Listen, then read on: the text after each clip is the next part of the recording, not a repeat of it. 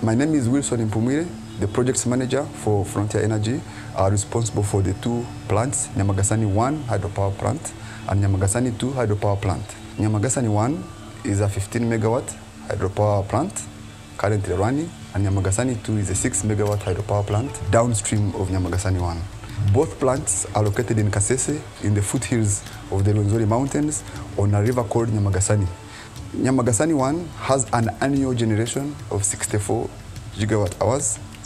Nyamagasani 2, uh, which is about uh, 50 meters downstream of Nyamagasani 1, utilizes the same river and uh, it has an annual generation of 25.5 gigawatt hours.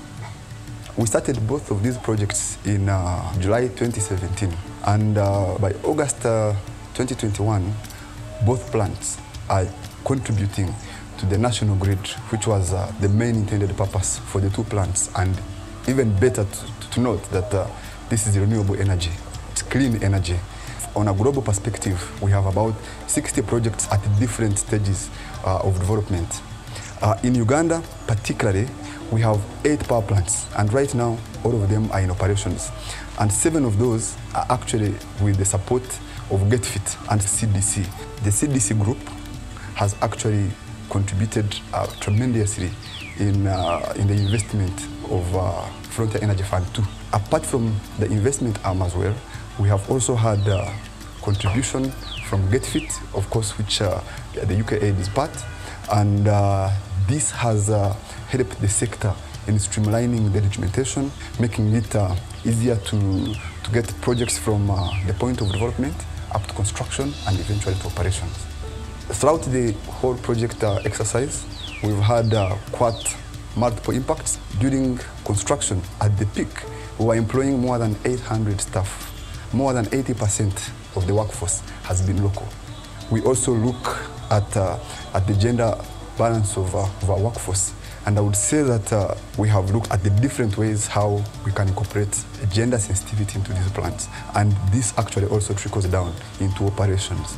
We have also provided uh, very clean water to over 10,000 people in the neighborhood of these power plants. Actually, we had an outcry from most of the community people that uh, when the young children are going to fetch water, some of them were drowning, Sometimes they miss school because the sources were very far. We have got a very clean source spring from up in the mountains and we have uh, laid down over 12 kilometers of pipe work to supply water to all the communities around the power plant.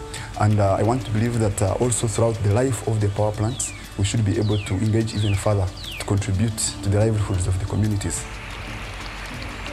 Projects have faced uh, multiple challenges, including uh, the Ebola uh, epidemic in 2018 and uh, COVID-19 since March 2020 has had a massive negative impact on our progress and, and, and the timelines. Amidst the COVID-19 uh, pandemic, we were also hit by extreme floods in May 2020 and uh, it retarded our progress. I mean, extreme floods are part of the climate change uh, issue that these projects are anyway trying to address by introducing clean energy as an alternative or rather the preferred source of energy.